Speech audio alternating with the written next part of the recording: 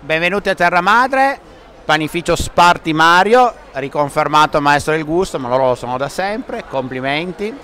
Eh, cosa significa per voi essere maestro del gusto? Allora, per me essere maestro del gusto significa dare una bella vetrina e far sì che i miei clienti siano contenti di quello che faccio e lo posso dimostrare sia con i prodotti e in più con la vetrina che voi mi avete dato.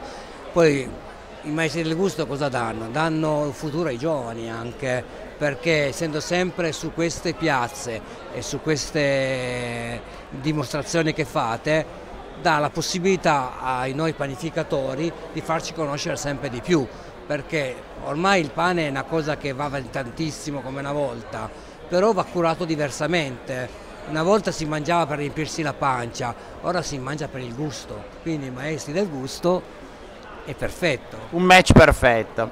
Senti, mi riassumeresti veramente in, in tre brevi parole eh, cosa significa oggi fare pane in provincia di Torino? Fare pane significa accontentare dei buon palati, perché per, come ti ho detto prima, per riempirci la pancia basta andare in un grande supermercato, mangi e va bene però se vuoi mangiare qualcosa di veramente buono vai dal tuo panettiere, noi dell'associazione